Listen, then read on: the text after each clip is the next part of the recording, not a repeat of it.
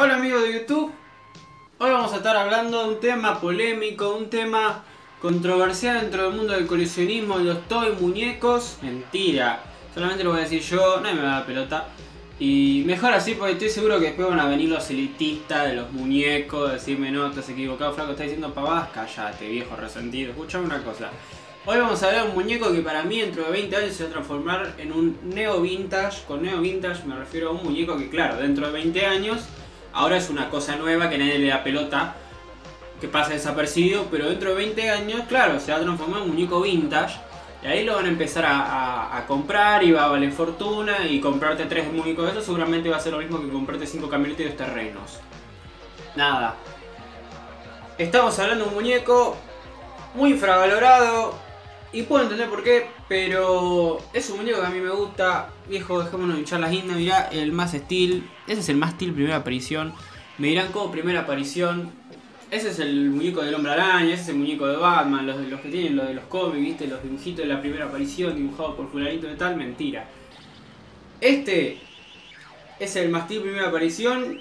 Aclaro por qué. Los que saben de Mastil ya lo conocen. Pero los que no, lo voy a introducir Conciso, este muñeco es el primero que sale. Vieron que Max Steel, si no lo conocen, bueno, es una, es una niña muñeco de los 2000 que garpó, sobre todo acá en Latinoamérica, y sacaban muchas figuras, muchas, muchas, muchas. Sobre todo del personaje principal, que claro, era Max Steel. Y sacaban millones de variantes, millones de variantes, y millones de variantes, que, que el que andaba en el agua, que el que tenía las manos imantadas, que los que traían armas, que si hablaban, etcétera Venían en un montón de variantes, y... pero este fue el primero. Este es el primero que sale.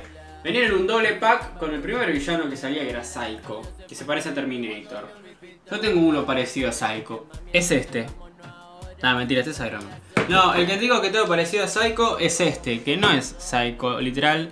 Es el androide Psycho, es como decir un Stormtrooper, era como un soldado genérico. Y sacaron el muñeco del clon, robot digamos, que es este, es este vago. O sea, se supone que, claro, dije Stormtrooper porque se supone que estos se fabrican en masa, entonces hay que tener varios, se supone que son de un ejército. No tengo plata ni interés en armar un ejército de este loco. Al contrario, tengo ganas de comprarme el Psycho común.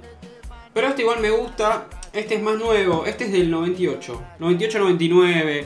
Hay una confusión ahí de cuándo salen estos muñecos. Algunos dicen el 98 porque atrás dice Mattel Link 1998. Otros dicen en el 99 que en el 98 se, fabricaron. Otros dicen que en el 2000 porque en el 2000 sale el dibujito. No tengo idea. Es mucha la confusión. Y es bien chequeable todo. Este es 2008. Este muñeco es 2008. Este, el Psycho Android.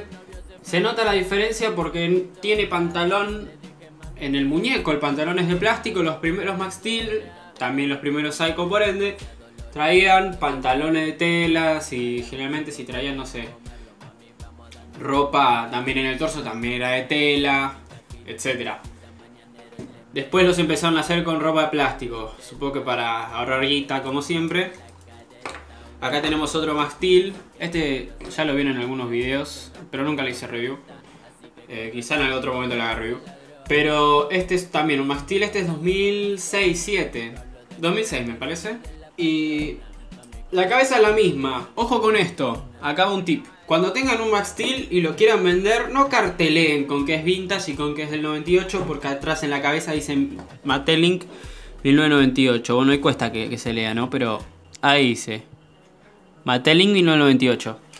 No crean que por eso tiene una figura del 98. Ustedes tienen que fijarse acá en el torso. Ahí va a decir, ven que dice 2006 Matelink. El muñeco del 2006. Yo también llegué a pensar que este era el 98, pero después vi atrás decía 2006 Matelink. Este es del 98. Este acá atrás no se ve, no se ve por este armatoste que tiene. Pero ven que ahí tiene una inscripción. 1998 Matelink. Los primeros Max Steel tenían la inscripción borrada, ¿sí? Acá está todo como borroñado de la cabeza.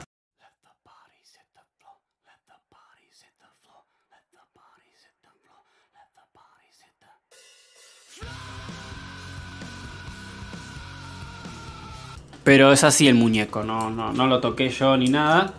Viene así. Así lo armaron tus amigos de Matelink.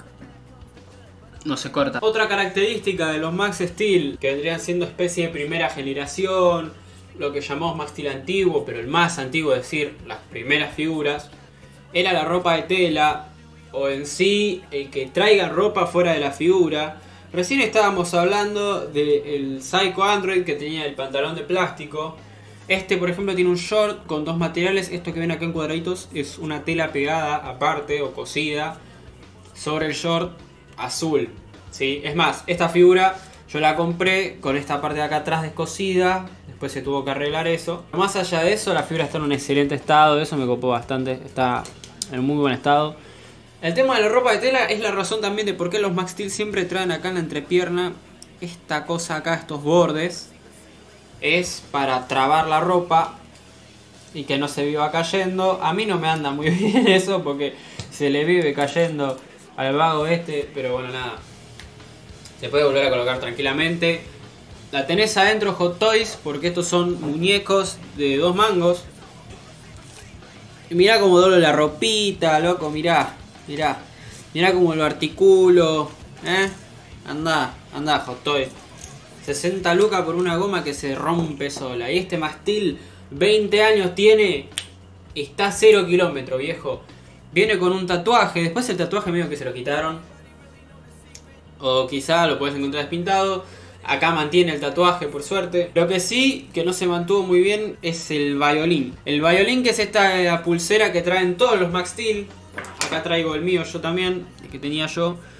Ven que también lo tiene. Trae un sticker. En el mío se está saliendo el sticker, lo vieron. Y acá sigue pegado, pero se deteriora solo. Yo ya lo compré así, estando en no muy buen estado, pero la verdad que me da exactamente lo mismo. Hablando de cosas que tienen todos los Max Steel, la verdad que esta figura yo la tengo por ser la primera. Si no fuese la primera, creo que no lo tendría. Siendo sincero. Pues inicié el video diciendo esto, Max Steel tenía muchas figuras, muchas, muchas, muchas, muchas, muchas. No conozco a nadie que las tenga todas. Veo youtubers que tienen muchísimas versiones, que tienen varias variables, varias variantes de Max Steel, pero a mí la verdad no me llama la atención tenerlos todos cortes Pokémon. A mí lo que más me llama es conseguir las que salen en las animaciones, en las películas o en la serie. Algunos que estén copados. Hay algunas figuras que sí me interesan, de varias líneas. Este, por ejemplo, me llama la atención, ya lo dije, por ser el primero, por eso lo quise tener. Aparte estaba a muy buen precio y lo compré con el Biocon. Los dos se, vendían juntos a un muy buen precio. Así que aproveché y los compré. Por lo mismo también de que están como nuevos, estaban completos. Salvo el Max que no traía, no trae la funda de la pistola. Ven que tiene una pistola que me gusta porque es una pistola realista. Después el Max Steel como que medio censuraron ese temita y empezaron a mandarle con blaster, ese tipo de huevadas, o disparaban redes. Pero esta es una pistola que si bien es hiper gigante, está bueno porque es una pistola real. Eso me copa. A pesar de que sea como tres veces más grande de lo que debería ser. Pero nada, Trae la pistola, la figura completa trae una funda. Acá me parece que también trae un sticker con este logo. Y venía la funda de la pistola en un mismo color así también de goma. Esto es de goma este se le puede quitar, pero una vez se lo quité y se lo quise volver a poner, es un quilombo. Lo que sí también se le puede quitar son los lentes. Esto sí, no hay ningún problema con quitárselos.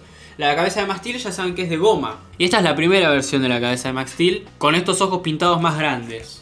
Traigo de vuelta el mío, vamos a quitar a Biocom. Y voy a traer el mío.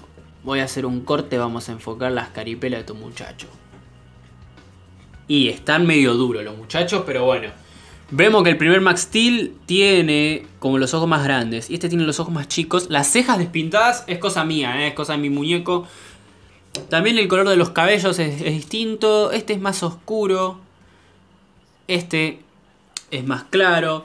Y también la articulación de la cabeza cambia. Acá, bueno, cambia por el tipo de cuerpo, que es distinto, es un torso diferente.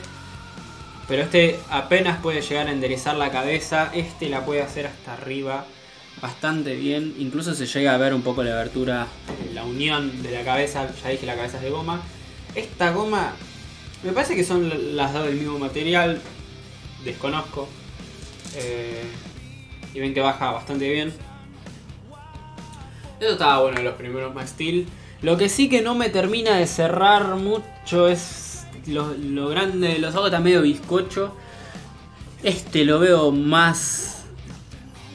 eh, un poco más normal. Este, como dije, está medio duracel.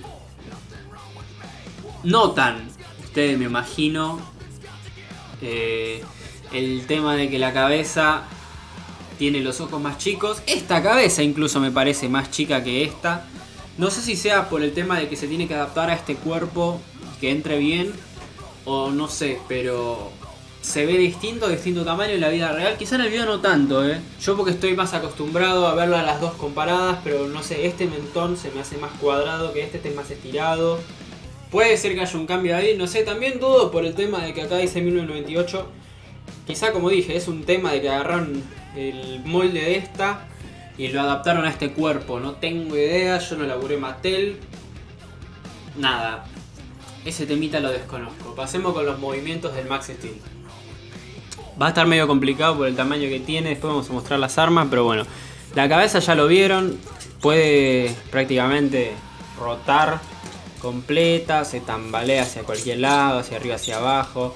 Tiene un buen rango, me gusta. Rechina. Eso significa que es uno, que esto es una goma. Y dos, que está duro esto, que no tiene tanto uso. Está nuevo, que es decir, no duro. What the fuck. Después los brazos giran, pero ven que me cuesta girarlos.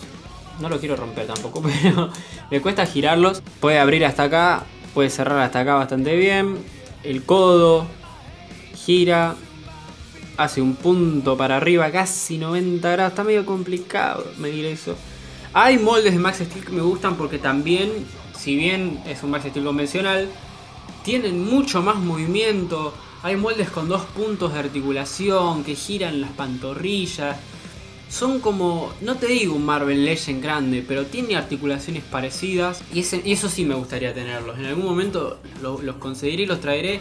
También el tema con los Max Steel es que no quiero tener Max Steel en pelotas. Porque, no sé. Si alguien hace ropa para las 1 en 6 que esté copada. Porque yo veo ropa para Max Steel. Pero son las típicas camisetas de Boca, camiseta de San Lorenzo. A mí no me interesa tener un mastil futbolero. Yo quiero tener un mastil con una buena pilcha, zarpada. Qué sé yo, no sé, alguna bata de tela, algún... ¿Cómo se dice? Sobre todo, se dice, no sé, un pantalón, no sé, un pantalón negro, boludo. Algo como el Batman Nightmare, ¿viste? Así como medio para vestirlo más o menos y que quede fachero. Bueno, volvemos con el movimiento. La mano abre, cierra, arriba y abajo, no sé cómo lo quieran decir.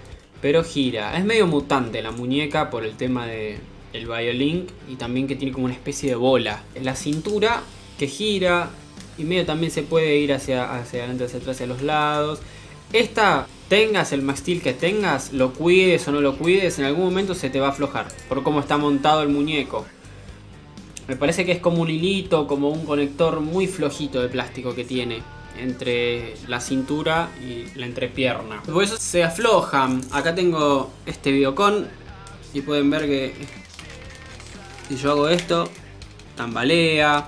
Las piernas hacia adelante, uno la rodilla, abren y el pie hacia arriba, no, hacia abajo y hacia arriba. El pie no viene moldeado así, esto es una zapatilla, esto se le puede quitar. Pero es un quilombo hacerlo. No lo voy a hacer, es, un quilombo.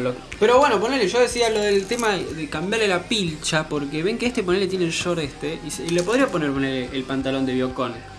Y quedaría copado. Pero no quiero un Biocon con short, quiero un mastil que se luzca, ¿viste? Por eso, no sé, a mí siempre tengo la idea de hacer un mastil. Yo nombré el Batman Nightmare porque siempre me imagino el, el mastil con una gabardina, hecho pelota, todo deteriorado, medio ciruja. Me gustaría hacer algo así, ¿eh? un custom de Max Steel viejo.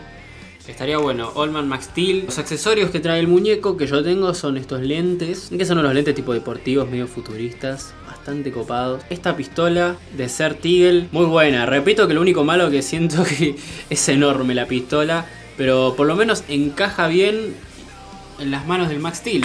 Acá tengo la mano. Lo bueno también de la mano de Max Steel es que es de goma. Entonces, claro, no va a tener problema en agarrar el arma porque la mano se puede estirar perfectamente. Lo que sí que no, no se le puede poner el dedo índice en el gatillo. Se puede customizar eso, se le puede cortar el dedo y separarlo de los otros y estirarlo con el arma y ponerlo en la posición.